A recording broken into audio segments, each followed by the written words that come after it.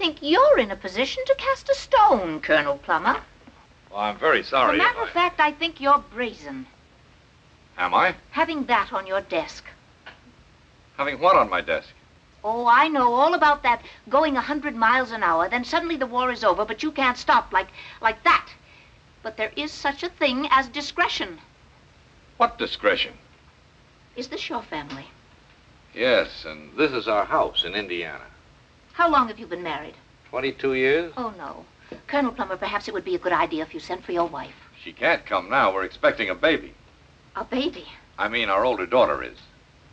Look, I can understand the temptation of a young man over here, but a grandfather. Really, Colonel Plummer, you should have your brakes relined.